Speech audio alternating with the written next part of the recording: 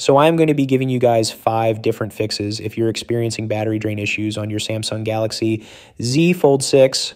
Now, even though this phone comes with a massive 4400 mAh built-in battery, it can still drain rather quickly because it is such a large phone. And my first tip here is that you're going to want to go into your settings and actually click on the battery and device care option.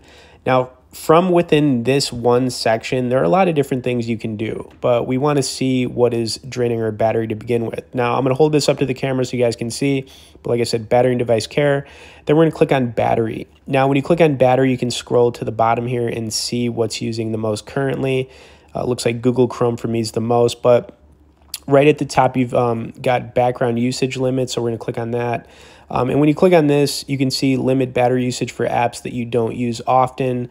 And you want to make sure this is check marked to the right. And if we go back another step here, you can see you've got power saving mode, which is something you could turn on as well. Uh, but I'm not going to do that. We're actually going to scroll all the way down here and you're going to see the more battery setting option.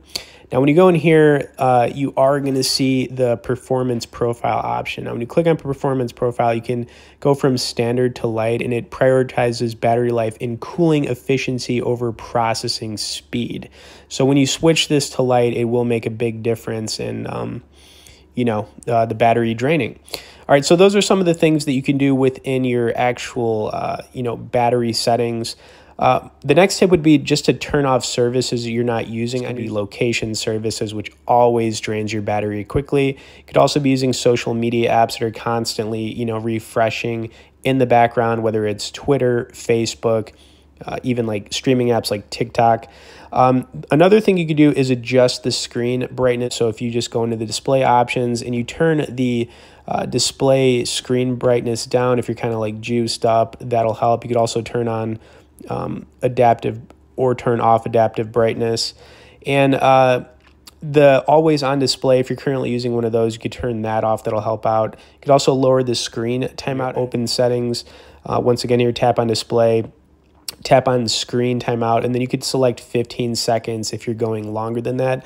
Um, and really, the last tip I would give you guys here is you can enable dark mode, also going to help with uh, any battery issues as well.